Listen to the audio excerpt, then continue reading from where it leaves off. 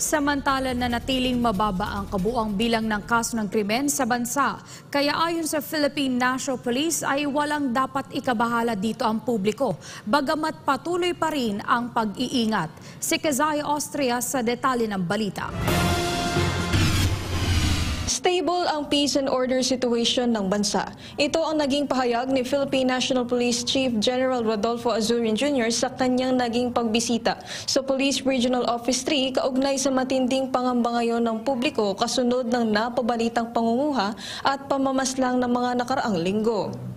Sa kanyang pagdalo sa ika-121st Police Service Anniversary ng PRO3, sinabi ni Azuri na sa loob ng labing dalawang taon simula noong 2010 ay patuloy ang pag-decrease ng kaso ng krimen, kung saan ang Peace and Order Indicator o kabuuan ng parehong index at non-index crime cases ay pababa ng pababa simula pa noong administrasyon ng yumaong dating presidente na si Benigno Aquino III. Ani Azurin, 5.85% ang naitalang decrease kung ikukumpara ang panahon ni Pangulong Aquino at Pangulong Duterte, habang nasa 45.24% naman ang naitalang decrease sa kasalukuyang administrasyon ni Pangulong Ferdinand Bongbong Marcos Jr.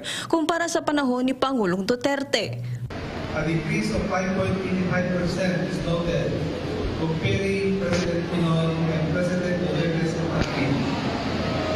Likewise, administration. Likewise, a decrease of 45.24% is recorded in PBBM's administration as compared to President Duterte's time. Dagdag pa ni Azurin ang mga index crime gaya ng murder, homicide, physical injury, theft, robbery, rape at car theft ay bumaba rin simula pa noong 2010 kung saan 45.80% ang naitala kung ikukumpara ang administrasyon ni Pinoy at Duterte habang nasa 72.45% naman ang naitala sa administrasyon ni PBBM kung ikukumpara sa panahon ni PRRD. A decrease of 45.80% is noted comparing President Pinoy and Duterte's administration.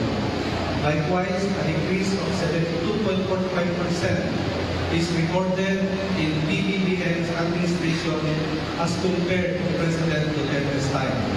Kaugnay nito ay nagbabala si Azurin sa publiko laban sa mga nagkakalat ng mga crime incident na karamihan ay mga dati ng kaso na nai-categorize na ng PNP units bilang cases solved. Other reported crime incidents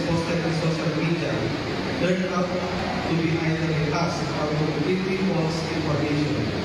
The PNP would like to do our part in educating our people to be more discerning of the true situation, particularly on, on crime matters, and be able to distinguish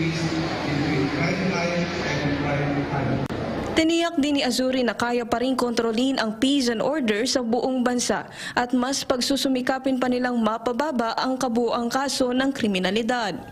Para sa Pilipinas kong mahal, mula dito sa Pampanga, ito si Kazay Austria, SMNI News.